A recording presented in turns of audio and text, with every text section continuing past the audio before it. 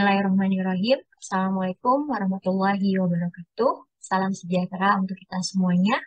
Mengawali PDD UKTPT Sosiologi dan Antropologi Keindonesian, izinkan saya memperkenalkan diri. Nama saya Hanifah Maulidia SPD MSI. Nomor induk dosen nasional saya 0302 10 8902. Saya adalah dosen tetap pegawai negeri sipil Eh, dengan jabatan lektor pada program studi Diploma 4 Administrasi Keimigrasian di Politeknik Imigrasi atau perguruan tinggi kemitraan lain atau perguruan tinggi mitra. Baik, eh, pada kesempatan ini saya akan menjelaskan teknik pengajaran dengan metode DIA atau Delivery, Interaction, dan Assessment pada mata kuliah Sosiologi dan Antropologi Keimigrasian Mata kuliah Sosiologi dan Antropologi Keimigrasian, yaitu dengan kode mata kuliah AD232, adalah mata kuliah wajib perguruan tinggi yang biasanya diajarkan pada semester 1 atau pada semester ganjil dengan bobot 2 SKS sebagai mata kuliah teori. Mata kuliah ini membekali peserta didik agar memiliki pengetahuan serta kemampuan memahami dan menerapkan teori dan konsep sosiologi dan antropologi dalam menganalisis fenomena dan masalah keimigrasian yang ada di masyarakat. Adapun capaian pembelajaran mata kuliah atau CPMK dalam mata kuliah Sosiologi dan Antropologi Keimigrasian adalah eh, terdapat 9 CPMK, yaitu CPMK pertama adalah memahami paradigma teori tokoh sosiologi. CPMK kedua adalah memahami pengertian teori dan tokoh TPMK ketiga adalah memahami nilai sosial, norma sosial, sosialisasi dan interaksi sosial. TPMK keempat adalah memahami lembaga sosial. TPMK kelima adalah memahami stratifikasi sosial, mobilitas sosial, dan kelompok sosial. TPMK keenam adalah memahami masalah sosial, penyimpangan sosial, eh, dan perubahan sosial. Selanjutnya adalah CPMK ke-7, yaitu memahami makhluk manusia dan kepribadiannya di antara lainnya. CPMK ke-8 adalah memahami masyarakat dan kebudayaan. Dan terakhir, CPMK ke-9 adalah menganalisis masalah sosial di bidang imigrasi. Adapun sub CPMK di masing-masing CPMK adalah, yaitu pada CPMK pertama, yaitu memahami paradigma teori dan teknik sosial. CPMK pertamanya adalah menjelaskan paradigma dan perspektif sosiologi. Dan kedua adalah menjelaskan sejarah lahirnya sosiologi. Sub CPMK ketiga adalah menjelaskan pengertian sosiologi. Sub CPMK keempat adalah menjelaskan sifat-sifat hakikat sosiologi. Untuk yang kelima adalah menjelaskan tokoh-tokoh sosiologi klasik. Dan yang keenam adalah menjelaskan teori sosiologi. Untuk sub CPMK pada CPMK kedua, yaitu yang pertama adalah menjelaskan pengertian antropologi. Untuk yang kedua adalah menjelaskan ruang lingkup antropologi. Dan yang ketiga adalah menjelaskan teori dan tokoh antropologi. Adapun sub CPMK ketiga, yaitu untuk CPMK memahami nilai sosial, norma sosial, sosialisasi, dan interaksi sosial adalah untuk yang pertama adalah menjelaskan pengertian nilai dan norma sosial. Yang kedua adalah menjelaskan jenis-jenis nilai dan norma sosial. Ketiga adalah menjelaskan pengertian sosialisasi. Empat adalah menjelaskan agen sosialisasi. Kelima, menjelaskan jenis sosialisasi. Untuk keenam adalah menjelaskan pengertian interaksi sosial. Itu adalah menjelaskan faktor dalam interaksi sosial. Kedelapan adalah menjelaskan syarat-syarat terjadinya interaksi sosial. Dan kesembilan adalah menjelaskan bentuk-bentuk interaksi sosial. Adapun sub CPMK keempat dari CPMK memahami lembaga sosial, CPNK pertama adalah menjelaskan pengertian lembaga sosial. Untuk yang kedua adalah menjelaskan fungsi lembaga sosial. Yang ketiga adalah menjelaskan ciri-ciri lembaga sosial. Untuk keempat adalah menjelaskan jenis-jenis lembaga sosial. Dan kelima adalah menjelaskan relevansi Politeknik Imigrasi sebagai lembaga kedinas sekolah kedinasan di bidang keimigrasian. Selanjutnya, dari sub CPNK kelima, untuk yang pertama adalah menjelaskan pengertian stratifikasi sosial, yang kedua menjelaskan pengertian mobilitas sosial, yang ketiga adalah menjelaskan dampak stratifikasi sosial, untuk keempat adalah menjelaskan pengertian kelompok sosial, Untuk kelima, menjelaskan syarat kelompok sosial. Dan keenam adalah menjelaskan tipe-tipe dari kelompok sosial. Untuk isi sub CPMK dari CPMK ke-6, yaitu sub CPMK pertamanya adalah menjelaskan pengertian masalah sosial. Untuk yang kedua, menjelaskan pengertian penyimpangan sosial. Untuk ketiga, menjelaskan pengertian modernisasi. Keempat, menjelaskan pengertian perubahan sosial. Kelima adalah menjelaskan bentuk-bentuk perubahan sosial. Keenam, menjelaskan faktor pendorong dan faktor penghambat dari perubahan sosial. Dan yang ketujuh adalah menjelaskan saluran-saluran dalam perubahan sosial. Adapun sub CPMK dari CPMK ke-7, yaitu untuk yang pertama adalah menjelaskan manusia di antara makhluk lainnya. Untuk yang kedua adalah menjelaskan organisme manusia. Dan yang ketiga, menjelaskan unsur-unsur kepribadian manusia. Selanjutnya adalah isi dari uh, isi dari CPMK 8 yaitu untuk sub CPMK pertama adalah menjelaskan unsur-unsur masyarakat. Untuk sub CPMK kedua adalah menjelaskan proses difusi, akulturasi, dan asimilasi. Dan isi uh, sub CPMK ketiga adalah menjelaskan aneka ragam kebudayaan dan masyarakat. Dan isi sub CPMK dari CPMK ke-9 yaitu tentang menganalisis masalah sosial di, di bidang keimigrasian. Untuk isi CPMK pertama adalah menentukan topik yang akan dibahas. Untuk sub CPMK kedua adalah membuat video yang berisikan kajian dan pembahasan masalah sosial yang dibahas. Dan yang uh, ketiga adalah memberikan masukan berupa solusi atau uh, atas masalah sosial tersebut. Selanjutnya, berikut adalah uh, ada beberapa materi kuliah. Yang pertama adalah paradigma, teori, dan tokoh sosiologi. Yang kedua adalah pengertian, teori, dan tokoh antropologi. Untuk materi ketiga adalah nilai sosial, norma sosial, sosialisasi, dan interaksi sosial. Untuk keempat adalah lembaga sosial. Kelima adalah stratifikasi sosial, mobilitas sosial, dan kelompok sosial. Untuk keenam adalah masalah sosial, penyimpangan, modernisasi, dan perubahan sosial. Untuk ketujuh, makhluk manusia dan kepribadiannya di antara makhluk lainnya. Delapan, masyarakat dan kebudayaan. Dan kesembilan adalah masalah sosial dan kaitannya dengan fenomena migrasi. Berikut adalah referensi yang saya gunakan dalam mengampu mata kuliah sosiologi.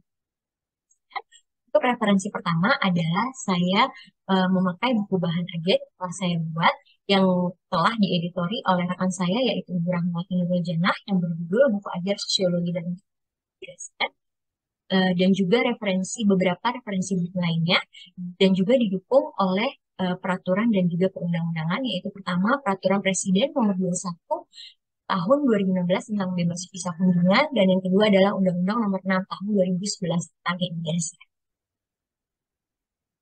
Selanjutnya, saya akan menjelaskan terkait dengan interaction atau metode pembelajaran dalam sinkronus. Sini uh, kuliah uh, tatap muka menggunakan Zoom meeting yang interaktif dengan menggunakan proses pembelajaran diawali dengan proses teacher, uh, teacher center learning, uh, lalu bertahap menjadi student center learning.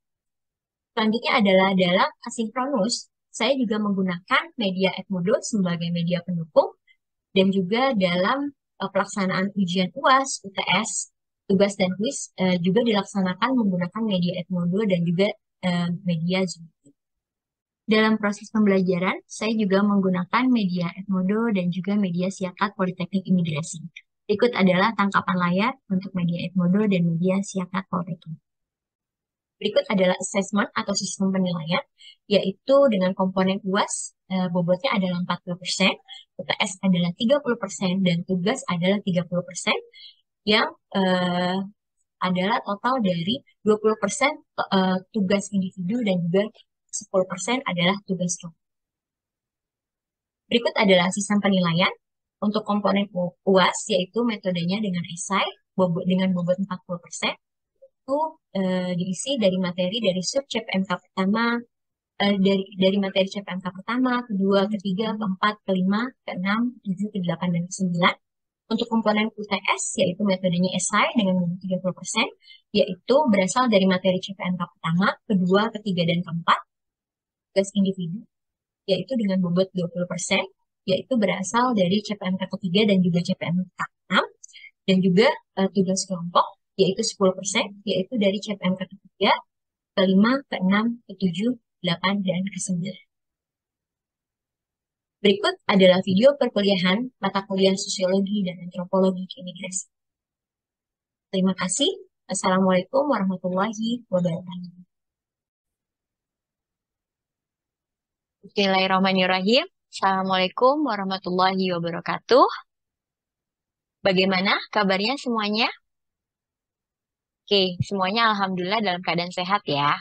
Oke, pada pertemuan kita pada siang hari ini, kita akan belajar mata kuliah Sosiologi dan Antropologi Keimigrasian dengan topik stratifikasi sosial. Apakah sudah muncul di layar? Siap, sudah, Bu. Sudah ya? Oke. Sebelumnya ada yang uh, pernah tahu nggak stratifikasi sosial itu apa sih? Silakan, ada yang mau mencoba menjawab? Ibu. Ya, silakan. Bagus. Siap, Ibu. Izin menjawab, stratifikasi sosial adalah uh, lapisan masyarakat, Ibu. Dalam arti kata di sini ada tingkatan dalam uh, bersosialisasi di masyarakat. Ya, stratifikasi sosial dibagi menjadi tiga. Yang pertama atas, yang kedua lapisan tengah, yang ketiga lapisan bawah.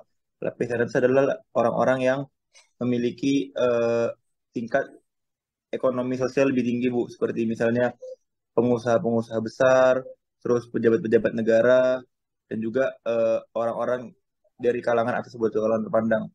Izin lapisan tengah adalah orang-orang biasa, Bu, yang dalam arti kata tidak memiliki uh, kesulitan atau kekurangan dalam kehidupan bersosial, Bu. Dan yang terakhir lapisan bawah adalah orang-orang yang uh, kurang, kurang dalam arti kata uh, memiliki sedikit kesulitan untuk menjalani kehidupan sosial masyarakat, Bu. Terima kasih, Bu. Oke, terima kasih bagus atas jawabannya. Tadi jawabannya cukup lengkap banget ya. Bahwa di situ dijelasin tadi bagus sudah menjelaskan jawabannya cukup tepat. Stratifikasi sosial itu adalah lapisan masyarakat, yaitu terdiri dari lapisan atas atau kelas atas. Yang kedua adalah lapisan tengah dan yang ketiga adalah lapisan bawah. Oke, kita lanjut ya.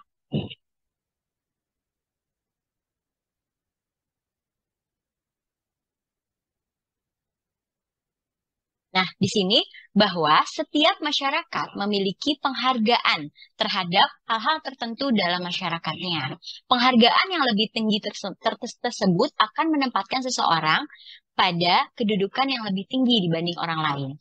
Oh, ternyata eh, stratifikasi sosial ini sudah ada sejak dari zaman dahulu, yaitu dari filosofis Aristoteles Yunani menyatakan bahwa di dalam negara ada tiga unsur, yaitu yang kaya sekali, yang melarat, dan yang berada di tengah-tengahnya. Nah, apa definisi stratifikasi sosial? Karena di sini kita kita kuliah sosiologi dan antropologi keimigrasian. Dalam sosiologi, sistem lapisan masyarakat disebut social stratification. Kata stratification berasal dari stratum atau jamak dari kata strata yang artinya lapisan. Pitrim Asorokin menyatakan bahwa Social stratification adalah pembedaan penduduk atau masyarakat ke dalam kelas-kelas secara bertingkat atau hierarki.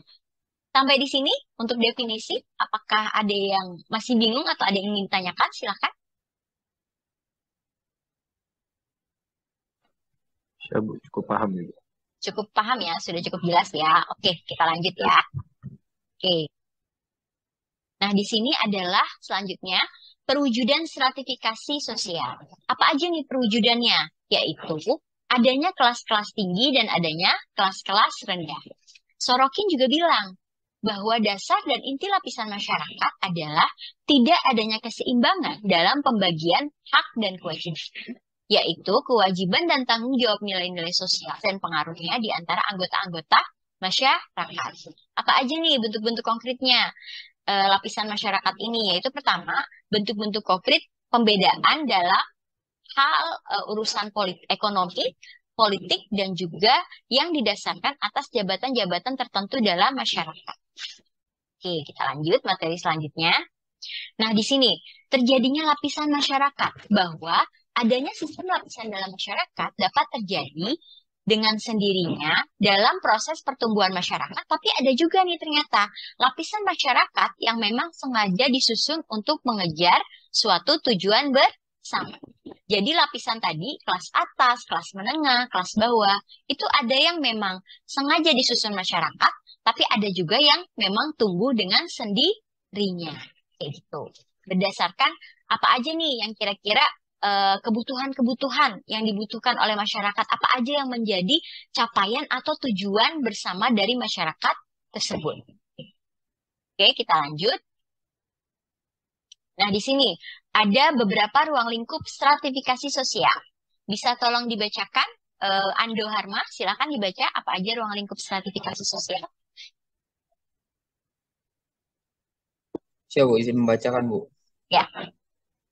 Ruang lingkup stratifikasi sosial. Yang pertama, adanya distribusi hak-hak istimewa yang objektif, seperti penghasilan, kekayaan, keselamatan atau kesehatan, wewenang, dan lain-lain. Yang kedua, yaitu sistem pertanganan Pertanggaan. pertanggaan yang diciptakan oleh warga masyarakat atau prestis dan penghargaan. Selanjutnya, Yang ketiga yaitu kriteria sistem pertentangan, apakah didapatkan atas kualitas pribadi, keanggotaan, kelompok, kerabat kelompok kerabat tertentu atau wewenang dan kekuasaan yang dimiliki.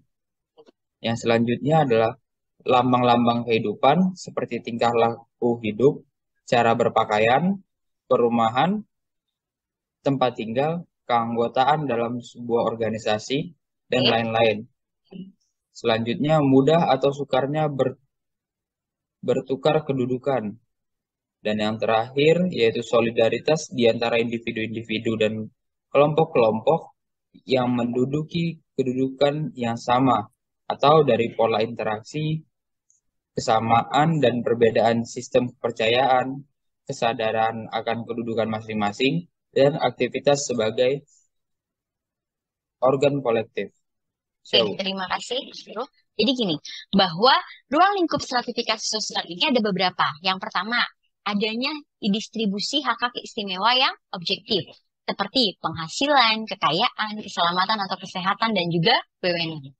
Nah, eh, dari beberapa lapisan tadi, kelas atas, menengah, dan bawah, itu pasti dari penghasilan yang berbeda.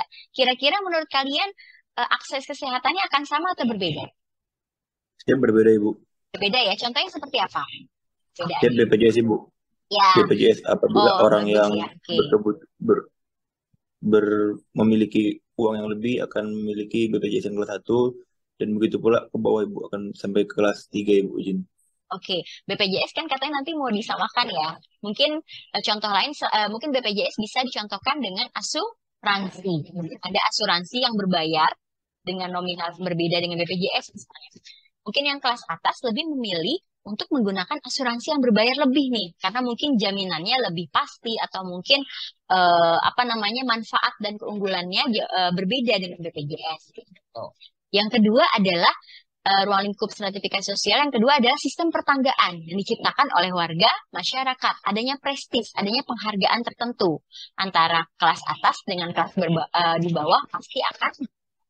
Yang ketiga, ruang lingkup ketiga, yaitu kriteria sistem pertentangannya yang didapatkan atas kualitas pribadi, keanggotaan kelompok, kelompok kerabat tertentu atau wewenang dan kekuasaan yang dimiliki.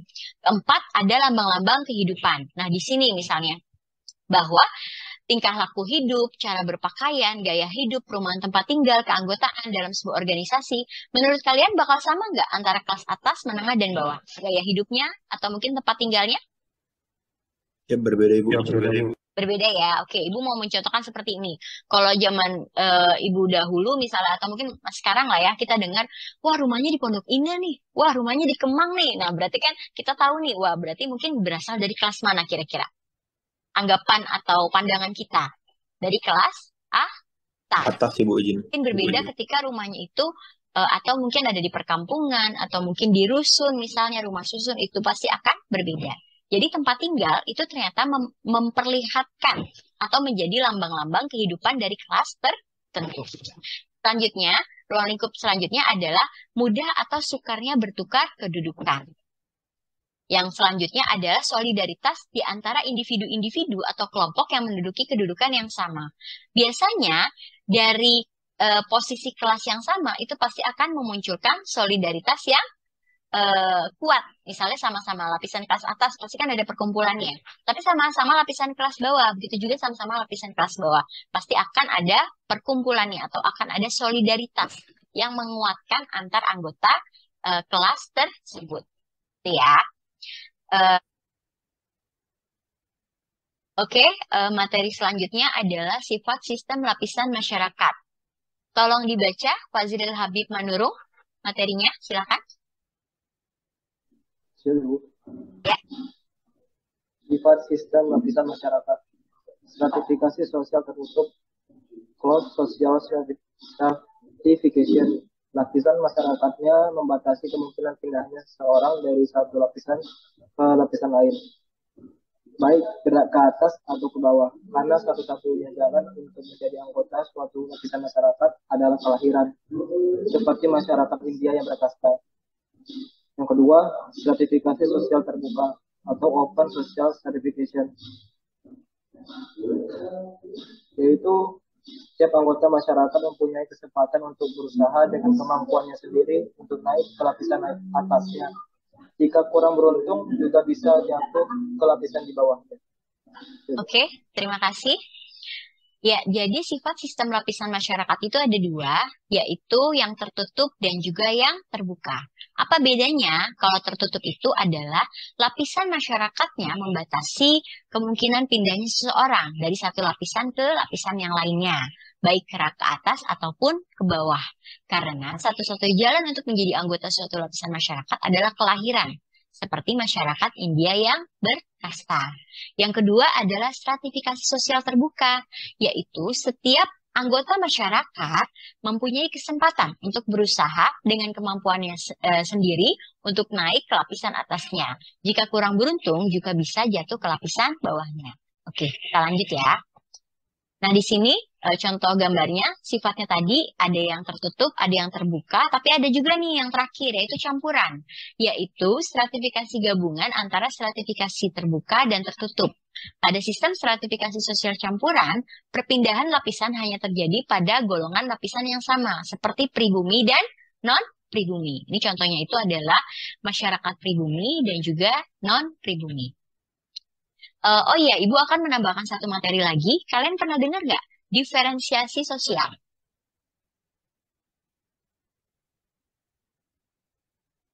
Ada yang bisa menjawab atau ada yang pernah mendengar sebelumnya?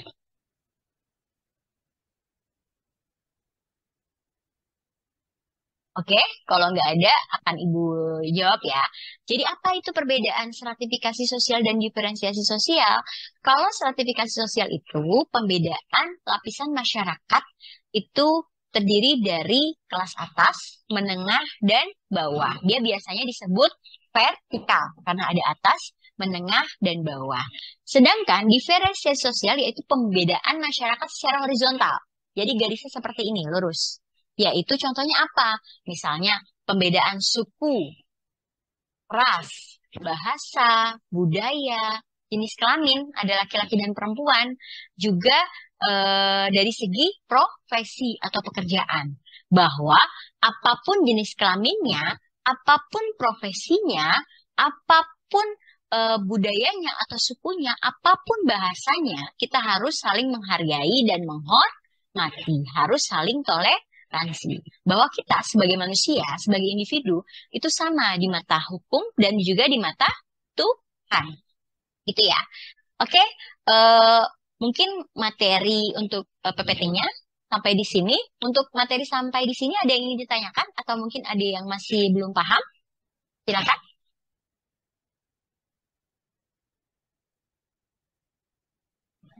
Saya Bu, izin bertanya Ibu.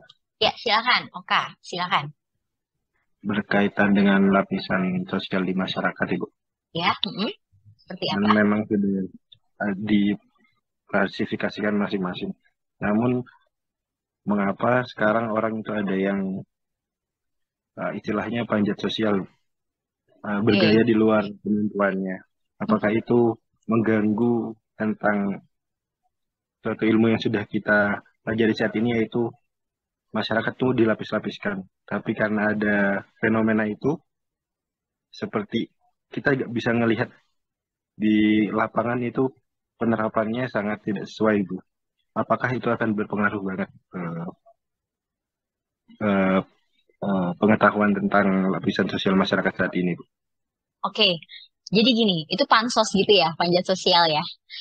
Itu nanti ngaruhnya ke gaya hidup ya, lebih ke gaya hidup atau lifestyle. Itu adalah salah satu faktor uh, dari adanya modernisasi dan juga globalisasi. Dengan adanya penyebaran informasi yang sangat cepat, dengan adanya sekarang media informasi kan tersebar dengan cepat, apalagi kita kan semuanya sekarang di tangan itu kayaknya apa-apa maunya megang gadget. Kita apa-apa maunya buka HP, entah itu informasi dari WhatsApp, entah itu dari IG, entah itu dari YouTube. Apalagi sekarang udah banyak yang punya YouTube channel ya, ngebikin vlog-vlog sendiri, entah itu dari kalangan artis atau mungkin kalangan uh, masyarakat seperti biasa seperti kita gitu bukan dari kalangan artis misalnya atau yang orang-orang terkenal. Nah, itu disebut sebagai hedonisme yaitu gaya hidup yang uh, berlebih-lebihan. Padahal dia uh, berasal dari kalangan menengah ke bawah nih atau mungkin kalangan menengah lah ya. Dari segi gaji dari segi penghasilan pendapatan itu sebenarnya hanya cukup untuk makan untuk pendidikan dan juga kesehatan. Tapi karena dia terbawa arus gaya hidup tadi lifestyle yang seakan-akan ingin menjadi sosialita ingin ingin dipuja-puja oleh banyak orang akhirnya dia terbawa menjadi seperti itu. Nah itu tidak bagus. Itu adalah dampak negatif dari modernisasi dan globalisasi atau disebut sebagai hedonisme. Itu contoh yang tidak baik ya kita juga kadang menemukan kan, ada mungkin pejabat-pejabat atau mungkin petinggi-petinggi yang kita tahu beliau itu uh, kita tahu lah beliau sebagai pekerjaannya apa, posisi jabatannya apa, memiliki penghasilan berapa, berasal dari keluarga yang seperti apa, tapi ternyata terlihat sangat sederhana.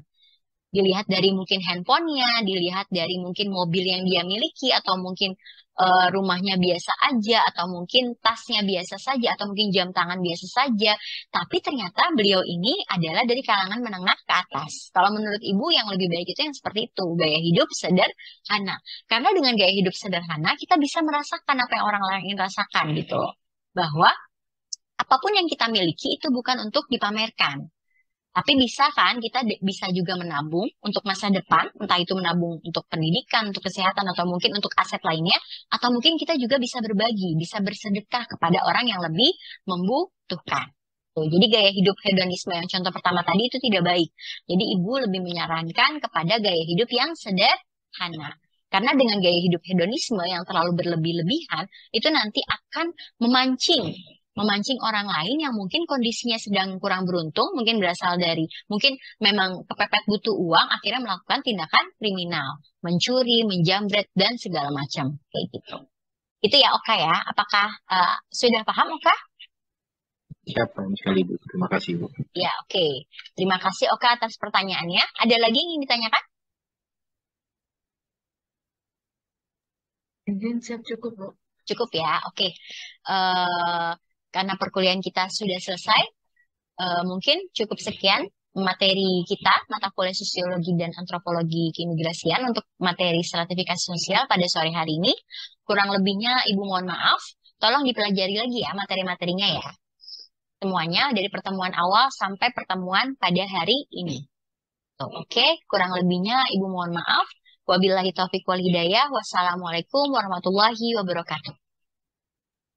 Waalaikumsalam warahmatullahi wabarakatuh. Oke, selamat sore semuanya. Jaga kesehatan ya. Terima kasih banyak. Selamat sore, izin live. Demikian visualisasi PDD UKTPT, Sosiologi dan Antropologi Keimigrasian. Terima kasih telah menyaksikan. Wassalamualaikum warahmatullahi wabarakatuh. Salam pembelajar.